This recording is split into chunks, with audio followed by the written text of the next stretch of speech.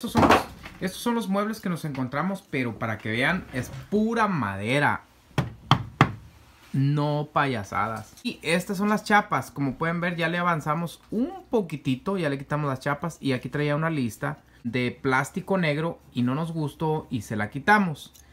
Estas son las eh, agarraderas o las... ¿Cómo se llaman estas? ¿Palancas? No. ¿Cómo? ¿Agarraderas? No Las sé. palancas son para los carros. Es estas cosas para abrirlo y cerrarlo. Traía esto aquí y la lista aquí negra de plástico, una hojita de plástico.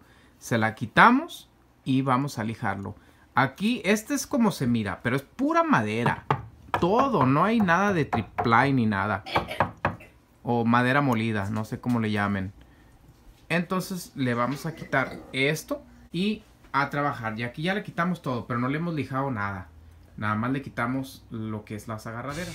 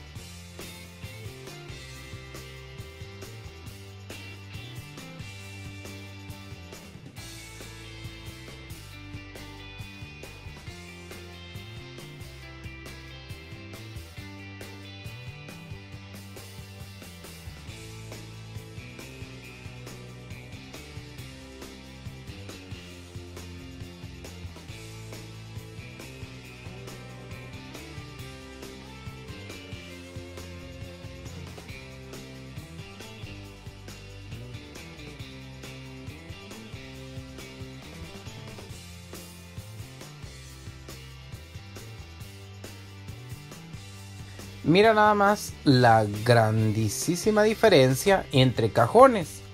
Por un lado, el que no le hemos hecho absolutamente nada. Y por el otro lado, el que ya está prácticamente casi terminado. Mira nada más la diferencia de colores. Y espero y les guste. Y a seguir dándole, señores.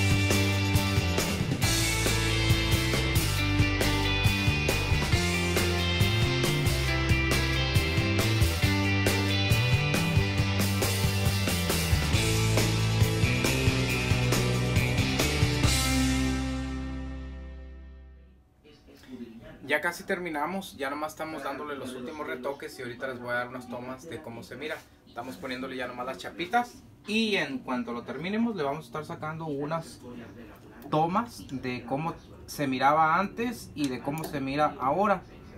Me tomó varios días, pero nada es imposible en esta vida cuando se quiere.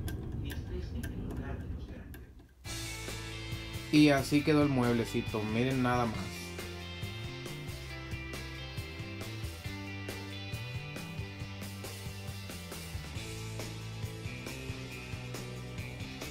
Ah, caray, ahí estoy yo. Ahí está el espejo.